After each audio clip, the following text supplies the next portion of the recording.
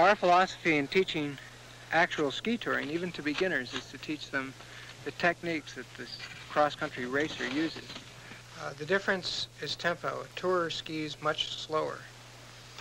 In addition to technique, there is waxing, which is as important to a tourer for his enjoyment as it is to a racer for his time. In waxing, there are two factors. Uh, first is snow condition, and the second is the type of wax, and they go together. The wax itself comes in, in two types, hard wax and klisters. The waxes are, are color-coded so that a person can easily learn which ones correspond to which types of snow condition. One of the types of wax is called klister. It comes in a tube similar to a toothpaste tube and has a texture of glue. As you'll see, it's very fun to apply and brings all kinds of humor into the sport. Okay, this is hard wax, and this is how you apply it. It doesn't matter whether you go up or down, as long as you cover the whole bottom of the ski and get it on, okay? Just rub it on in a simple manner, such as this. It's a nice visible layer. This is what we would call a medium layer of hard wax. Okay, you also wax the groove with this kind of wax. Take the edge, put it in the groove. Okay. Now, you should you always smooth this out with a cork or your hand or something like that, such as this. You just take and you you rub it until it basically disappears.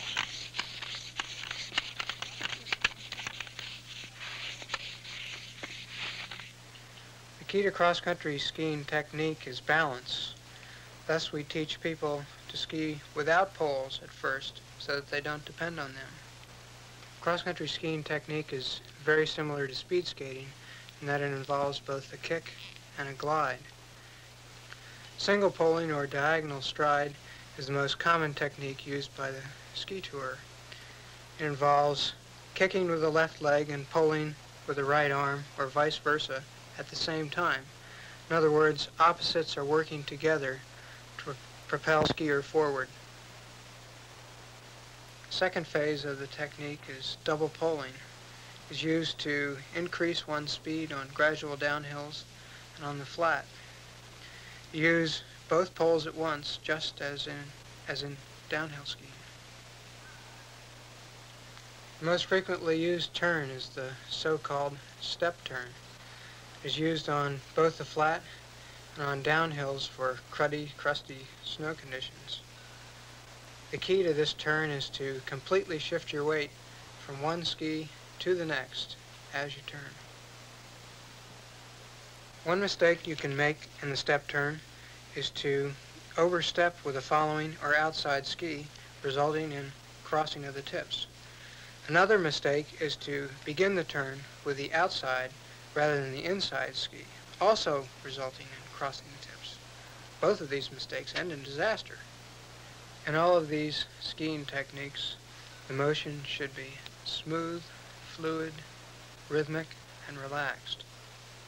Each propelling action of the leg or arm should be followed by complete relaxation of that limb.